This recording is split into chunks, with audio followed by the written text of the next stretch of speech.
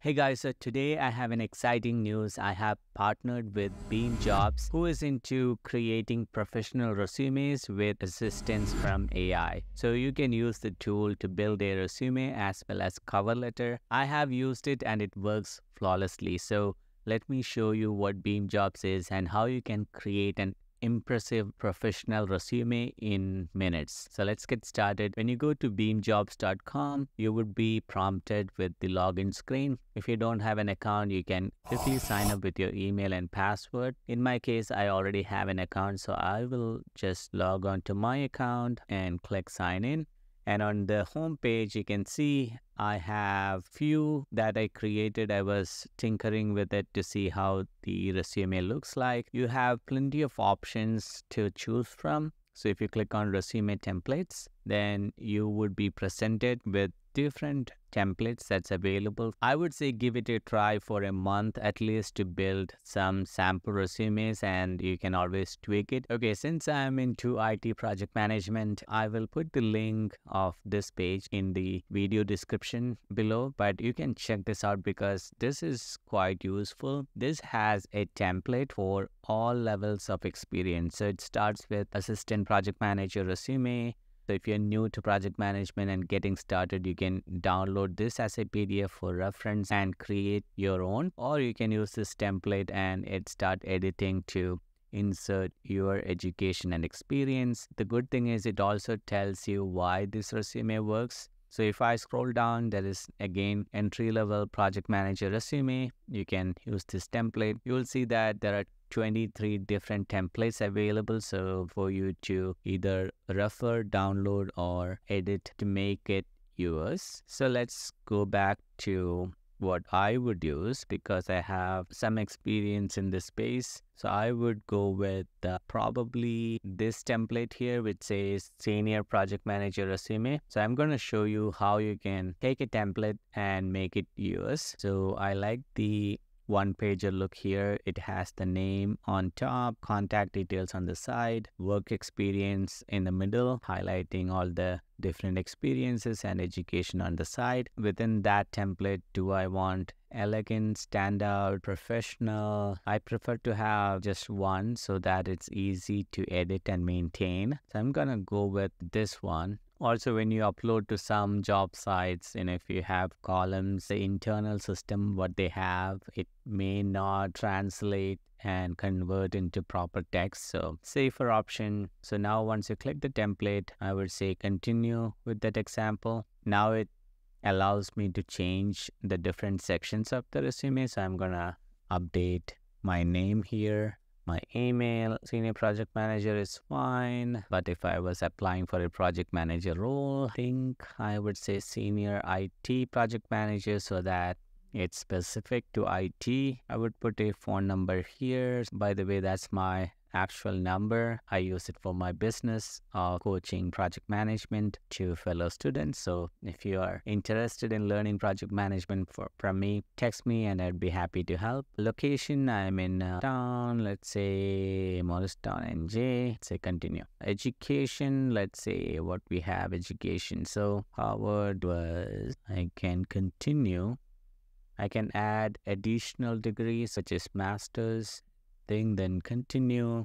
So it added those two. So if I want to add my bachelor's, I can do that. And I would say continue. So it added all the education I have. Now I can add different work experience. So I have current role that is carpenter technology. Job title is IT business partner. Location is so these are different work responsibilities that that's in the template you can always have additional work responsibility by your own or if you don't want it you can delete it. There are different work responsibilities. Example here you can go through and see if anything relates to what uh, you have done in the past and then you can say continue got added. Next one i would say i was honeywell 3 continue the same information, work responsibility. So that's what we did. And then other responsibilities, I'm going to keep it same. for time being so that I can show you the next section where we can add the skills so now skills here, these are certificates. So I think I would go ahead and add a section for certifications. So you can add that here. If you have other sections such as activities or if you want to create your own section for any other extracurricular items, you can add that. I'm just going to add the certifications and then click out of it. Certification skills, I would remove the certifications from here. Confluence, MS Project, Trello, ITPPM, CA Clarity. Those are some of the project management frequently used tools. Compass or say change management, SOW, procurement, those are some things that I would add. Career objective, PMP certified project manager with uh, 19 plus years of experience. Let's say Sanofi, where my experience will drive client facing projects. Uh, certification, I'm going to say PMP certification. PMP certification, I would say CSM certification, continue. So the resume score is already at uh, 95. At this stage, you can always rearrange the sections. You want to move the skills above education, you can do that. And that way, your education and certifications comes down. You have the skills and you have the most relevant experience. Here, when you click on LinkedIn, it takes you to different LinkedIn. So you may want to edit that link. So let's do that. Social links. If you click on social links, here there is a LinkedIn and put it here. Continue. If you click on expand, you can see what it did. I did not like the full link here, so you can go back to the contact information. Click on social links and say LinkedIn. All right. So it has that. So if you want, you can always click on the resume in this area. And then for each of the sections, you can always right click and adjust anything if required here. It says pmp dash certified which is good. This looks good to me. Let's look at if there are any improvements that the tool is suggesting. So if we click on improvements, it says quantify your impact. Wherever we have those keywords, try to put some numbers. I think the first one, because there is a 2 million deal, is good. SAP implementation for production floor. All right, collaborated with two project managers to work cross-functionally with software and data team to align to Okay, so now that we have done it, let's see how much it recalculates. Wow, 20 down to 44%. So here they give some examples of how to add like here saving engineers 15 hours each week. I'm gonna add that. Let's recalculate. So from 44 by adding those metrics, it improved to 55. So now let's see what else resulting in uh, additional 15% productivity. So just adding that 15%, let's see how much came back to 66 where we started. That's exactly what these tools let you to help make your resume more quantifiable. It has key metrics where you can measure the performance of what you delivered, how it helped improve the business. That is something that would be missing in most of the other candidates' resume. So that will make your resume stand out. Those are the things that I like about this tool. And I highly encourage that you spend some time to fine tune it to bring it at least a work experience and career section to close to 90%. Overall, I think uh, we are at 88%. And it tells you that you know avoid any filler words so you can always do the formatting options, adjust the margins or the vertical spacing. You can change the font if you want to. I think this looks good.